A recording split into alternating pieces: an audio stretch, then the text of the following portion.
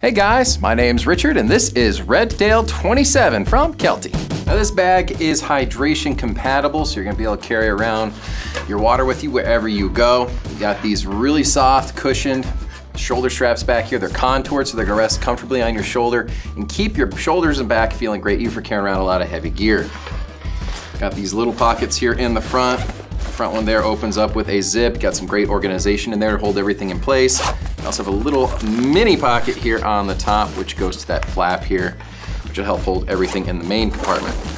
This opens up nice and wide. You got lots of storage space there on the inside, as you can see. You got that little elasticized panel in the back to help hold everything in place. Add it to your cart today. It's from Kelty.